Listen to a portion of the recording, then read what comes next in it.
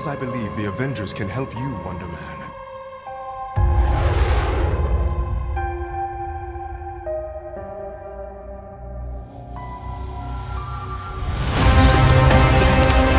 You're seeing something that isn't there. Desire to become a superhuman cannot be separated from supremacist ideals. Something is wrong with me. That serum is inherently on that path.